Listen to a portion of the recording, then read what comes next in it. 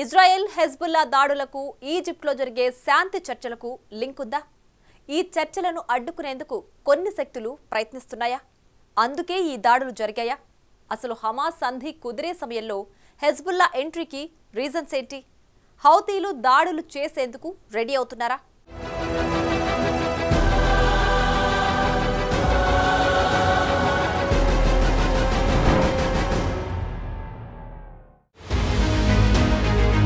ఓవైపు చర్చలు మరోవైపు పరస్పర దాడులు. చర్చలను ఆపేందుకు కుట్ర జరుగుతుందా? మిడిల్ ఈస్ట్లో అశాంతిని సృష్టించాలంటున్నది ఎవరు? ముందే దాడులకు సిద్ధమై చర్చలకు వచ్చారా? నిజానికి గాజాలో హమాస్ ఇజ్రాయెల్ ఆర్మీ మధ్య జరుగుతున్న పోరులో వేలాది మంది అమాయక ప్రజలు సమితలవుతున్నారు సాధారణ ప్రజలను తమ రక్షణ కవచంలా మార్చుకొని హమాస్ ఆపరేట్ చేస్తోంది. వారిని ఎలాగైనా మట్టుబెట్టాలని ఇజ్రాయెల్ దూకుడుగా ముందుకు పోతుంది. వీరిద్దరి పంతానికి బలవుతున్నది మాత్రం అమాయక పౌరులే. అందుకే చాలా రోజులుగా ఇరు వర్గాలు చర్చలు జరిపి కాల్పుల విరమణ ఒప్పందాన్ని కుదుర్చుకోవాలన్న డిమాండ్ వినిపిస్తోంది. నిజానికి దీనికి అనుగుణంగా అడుగులు కూడా పడ్డాయి.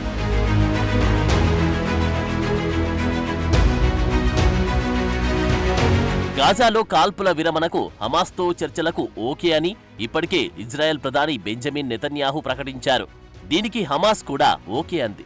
ఈజిప్ట్ రాజధాని కైరో చర్చలకు వేదికైంది. అయితే గతంలో కూడా చర్చలు జరిగాయి కానీ ఎలాంటి పరిష్కారం లేకుండానే ముగిశాయి. అయితే చర్చలు మాత్రం సానుకూలంగానే జరిగాయని ప్రకటించాయి. దాడులను ఆపేయడం బందీలను విడుదల చేయడంపై చర్చలు జరిగాయి. అయితే కొత్త షరతులను అంగీకరించలేదని మాత్రం హమాస్ ప్రకటించింది.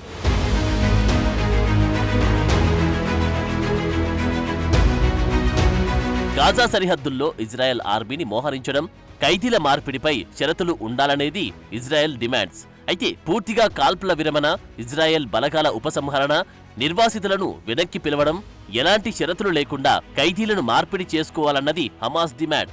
దీనిపైనే ప్రస్తుతం కైరోలో చర్చలు జరగాల్సి ఉంది. సరిగ్గా అదే సమయంలోనే హెజ్బుల్లా ఇజ్రాయెల్ మధ్య దాడులు మొదలయ్యాయి.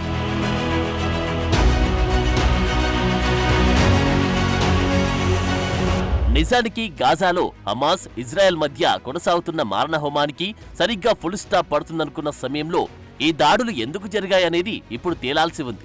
నిజానికి హమాస్ హెజ్బుల్లా రెండు ఇరాన్ మద్దతిచ్చే సంస్థలే. ఈ రెండు కూడా ఇజ్రాయెల్ అస్తిత్వాన్ని గుర్తించేందుకు అసలు అంగీకరించడం లేదు. మరోవైపు ఇరాన్ గడ్డపై హనియా హత్యను ఆ దేశాధినేతలు అస్సలు జీర్ణించుకోలేకపోతున్నారు. ఇలాంటి సమయంలో శాంతి ఒప్పందం జరిగితే అది ఇజ్రాయెల్ విజయంగా భావించాల్సి వస్తుంది. అందుకే ఈ ఒప్పందాన్ని ఎలాగైనా రద్దు చేయాలనుకుంటున్నారా అనేది ఒక అనుమానం.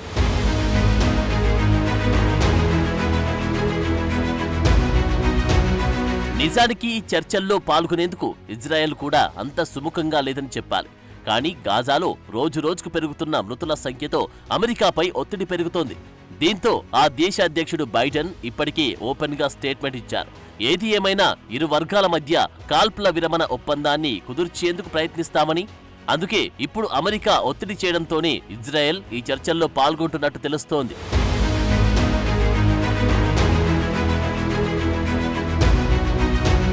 ఇజ్రాయెల్కు ఈ చర్చలు జరపడం ఎంత ఇష్టం లేదన్నది చెప్పేందుకు బెస్ట్ ఎగ్జాంపుల్ ఏంటంటే ఈ చర్చలు జరగడానికి కొన్ని గంటల ముందే ఇజ్రాయెల్ యుద్ధ విమానాలు గాజాపై బాంబుల వర్షం కురిపించింది.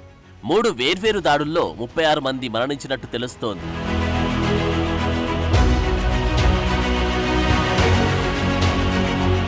మొత్తానికైతే పరిస్థితులన్నింటినీ చూస్తుంటే ఉద్రిక్తతలు పెరిగే అవకాశమే తప్ప తగ్గే అవకాశమైతే కనిపించడం లేదు. హెజ్బుల్లా రాకెట్ దాడులు చేయడంపై యెమెన్లోని హౌతీలు ప్రశంసలు కురిపించారు. త్వరలో తాము కూడా ఇజ్రాయెల్పై దాడులు చేసేందుకు రెడీగా ఉన్నామని ప్రకటించారు. సో పరిస్థితి మరింత దిగజారే పరిస్థితులే కనిపిస్తున్నాయి.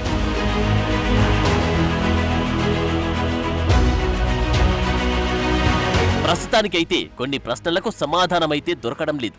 ఫస్ట్ ఫేజ్ దాడులు పూర్తయ్యాయని హెజ్బుల్లా చెబుతోంది. అంటే మరిన్ని దాడులు చేయబోతున్నారా? చేస్తే ఇజ్రాయెల్ ఎలా రియాక్ట్ అవుతుంది? పరిస్థితి మరింత దిగజారితే సీన్లోకి అమెరికా ఎంట్రీ ఇస్తుందా? ఇదే సమయంలో హౌతీలు కూడా దాడులకు తెగబడితే పరిస్థితి ఏంటి? ఇవన్నీ కాకుండా ముందే ఈ రెండు గ్రూపులపై ఇజ్రాయెల్ దాడులు చేస్తే పరిస్థితి ఏంటి? ప్రస్తుతం ప్రపంచ దేశాలన్నీ మిడిల్ ఈస్ట్ వైపే చూస్తున్నాయి.